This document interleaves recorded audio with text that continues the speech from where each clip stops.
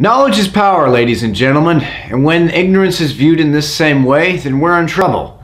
So what I'm essentially telling you, the viewer, is that the, uh, the world is in trouble.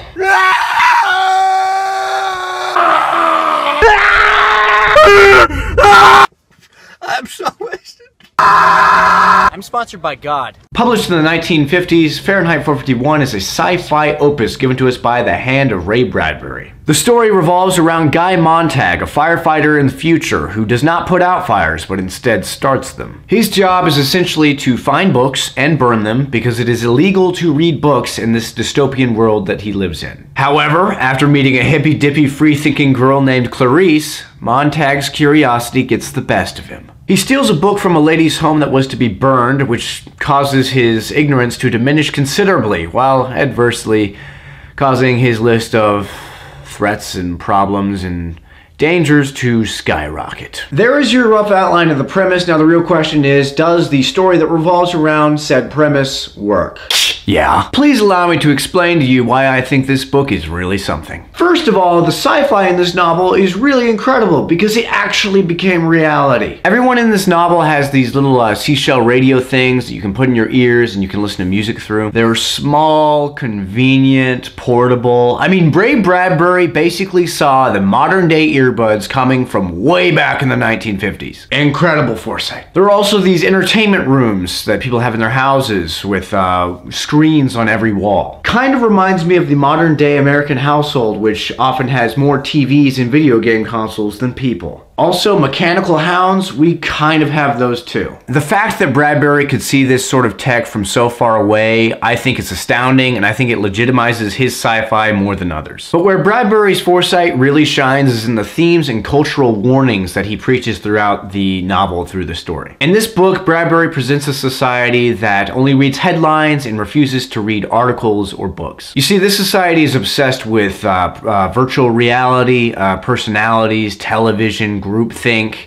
uh, materialism, and the belief that ignorance is bliss. However, when you read this book, it becomes very clear that a lot of the people of this society are really not blissful because they often overdose on drugs to escape from the seemingly perfect but really unbelievably imperfect reality that they live in. They live in a fake world. I wonder if there's ever been a civilization like that.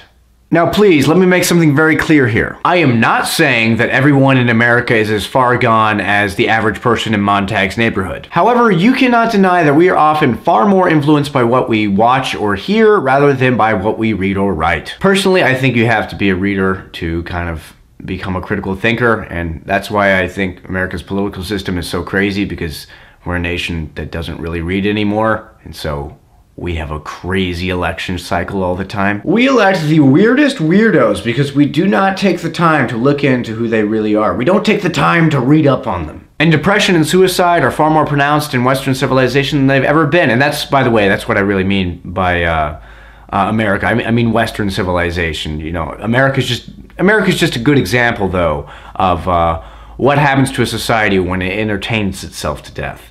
Everyone becomes disconnected, lonely, and empty. Which is why Fahrenheit 451 is so great. It's about Guy Montag, who realizes all these terrible things about his society, uh, becomes a uh, reader slash critical thinker and then decides to fight back against the current. It's awesome. Also, quick note, there's nothing wrong with entertainment in general, but when it's abused, it can be very harmful. That's, that's really what I'm trying to say. Another thing I liked about Fahrenheit 451 was Bradbury's prose. It was smooth, concise, beautiful, just, it was great writing, great writing. Also, the characters of Faber and Beatty were really, really good characters, especially Beatty. He was a, uh, a really a really good villain who had some interesting theories about reading and his perspective on why reading should be illegal was very interesting. There's some great monologues by Beatty. Good antagonist, really, really good antagonist. And the pacing was right on the mark. I was never bored, and I mean, there's just, there's some really intense and suspenseful scenes in this book that really, I mean, it just propels the story forward expertly well. And in my opinion, I think the ending is quite good. As for negatives with Fahrenheit 451, uh, wait, what are you talking about, man? Fahrenheit 451 gets an A+. plus. I implore you to read this book. It really pinpoints why it is so necessary to read. Anyways, though, guys, have you read Fahrenheit 451? And do you know the temperature at which book paper burns? Because I have no idea. Leave your answers and comments in the comment section below. And as always, if you like this video, please like it and subscribe. Tell your friends about the channel. And never forget to